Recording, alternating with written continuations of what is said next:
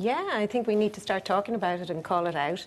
It's the most commonly experienced uh, form of prejudice. Yes. It's also the most tolerated when compared to racism and sexism. Is it? Yes, absolutely. And it can lead to older adults being ignored, being treated as if we've nothing to contribute, um, being assumed to be incompetent, hard of hearing, have memory loss. Sadly, it can also um, lead to us feeling invisible.